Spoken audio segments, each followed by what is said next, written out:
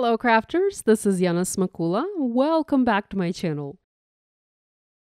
Today I have a Christmas card to share featuring new Christmas 2021 products from Spellbinders. I know we're only in July and I'm already talking Christmas. But truth be told, Christmas is my favorite holiday, and if I could make Christmas cards all year long, I would. Spellbinders has some absolutely incredible collections for Christmas 2021 launching today. There are several collections, all simply fabulous and very, very inspiring. I have links to all of the products in my video description below, and I encourage you to check them out. You're going to love them. My favorite collection from this release, however, is the Open House collection. It's a small one, just four products, but wait until you see it.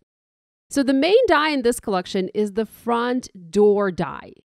Now, if you're a club member for Spellbinders, you might remember a door die from last year. It was called Always Welcome, and it was a large die of the month for October 2021. Well, guess what? That door die coordinates with all of the die cuts in this collection. So if you have that door, you can mix and match the pieces from that door with the other decorative pieces from this collection. Now, I have that die. I love it. I've shared several cards using it, and there's also a video on my YouTube channel showing how to put it together. So you can say, I'm a big fan. Now, that door, the always welcome door, it has a hinge so you can actually open it. The door in this collection in the open house, it's just a door, it doesn't open. So that's basically the main difference, but there's also a difference in the mm, door design. So the open house collection has the front door die. So it's one die set. Now the door has side panels, side windows, and those are very long windows like French windows. So that's another set. There's also a set with the steps, and the steps have inserts, sentiment inserts that you can put inside and have a different sentiment for your card. And there's also a set with a topiary that you can add next to your door. So seriously, very cool collection and very well designed. Now, the door itself is designed to go on an A2 card. It fits perfectly on an A2. If you add the steps to your door, you can make your card into a slimline, a mini slimline, or a full size slimline card as the steps really extend the scene. And then again, you have the side windows. So you can have one on each side, or you can even have several window panels on one side to create bigger windows.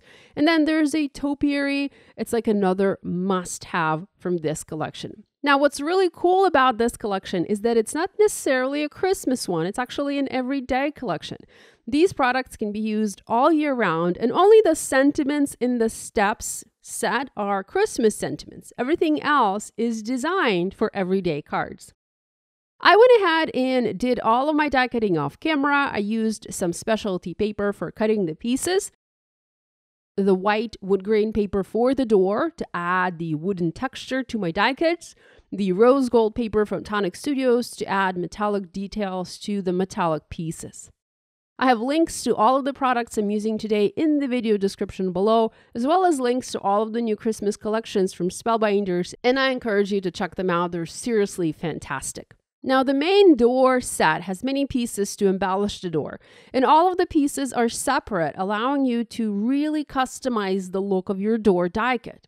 Now be sure to emboss the door itself as that will add beautiful detail and it will make the door look very real, just like a mini uh, miniature door. There's also a mail slot and a door handle, and you can add to your project, to your door. And I always like to cut those from some sort of metallic cardstock to make them look a little bit more real.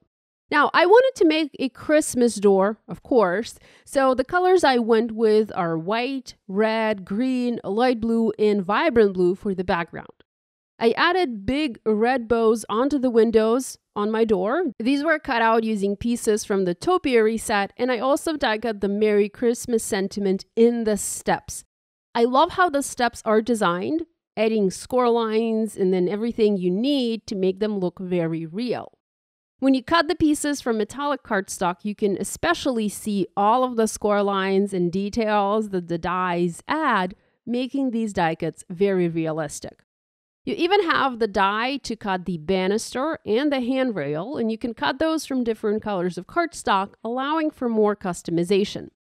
I debated making mine white or red, the handrail, and I ended up going with red, which I do like better for a Christmas card. I also added the foliage.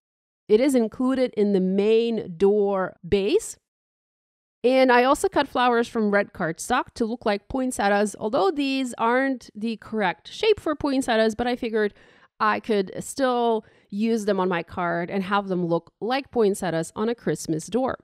I used my tool-in-one and the medium stylus tip and shaped the flowers. For this, I place them on a pencil eraser. I like to use it because it is like a soft surface. And then I press the centers of the flowers with a stylus, shaping them. So I have actually two tool-in-one tools. I have one, uh, the new tool, which is brown, with the pick and the brush and and then the other my old tool-in-one i have it permanently set up with a stylus tip so that i can shape my flowers. Now this way once the flowers are shaped they look a little bit better. They look a little bit more realistic. They have a bit of a curve to them. They aren't flat. I also finally tested the new tweezers from Spellbinders. I know I've mentioned these a while back, but I finally got around to playing with them. These are phenomenal to pick up and place little tiny pieces like these flowers I feel like these are must have when working with the little die kits. And Spellbinders does have a lot of tiny pieces in their die sets. Next, I used a set called Shopping Spree from another collection. I think this one is from the Be Merry collection from Spellbinders, also releasing today. So I used that set to die cut several gifts to place on the top step. Now, I didn't like how the top step was completely empty, so I wanted to add something, and adding gifts seemed like a great idea. I die cut several gifts from red in light blue cardstock as well as red striped diagonal pattern paper. I also die cut the bow and the ribbon pieces from rose gold cardstock to match all of the other metallic die cutting on this card. Now, I envisioned this door leading to a beautiful house with a vibrant blue facade. To create the facade of the house, I used Spellbinder's Cosmic Sky cardstock and I dry embossed it with a new slimline embossing folder called Striped Slimline.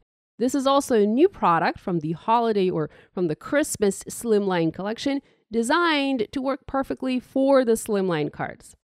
I created a side folding card base. Now, my card base measures three and three quarters by seven and a half inches. So it's not exactly the proper slimline size, but that's what worked for my card design. I, I could have made it the true slimline, but then I would have had to add a little bit something extra at the top, and I didn't want to do that. So I just trimmed my card to better to be a better fit for the door.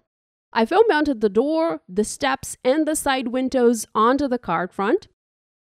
I really love how the blue added lots of contrast to this card and it helped the door pop. I also embellished the card with the new gems. Spellbinders has four new colors of gems. They have red, green, pink, and teal. And I used the gems in red for this card. I added those as little flower centers to the little faux poinsettias that I had on my card, as well as onto the bows. Now, I also added a couple of white gems from the previously released Crystal Gem Mix, and that finished my card. So here's a look at the card I have for you today featuring the Open House collection from Spellbinders. I didn't get to use the topiary from this collection for this card, but I can't wait to sit down and create some more. I've already started cutting those pieces out. Thanks so much for joining me today. Love you guys. I hope you enjoyed this video and I'll see you next time. Bye!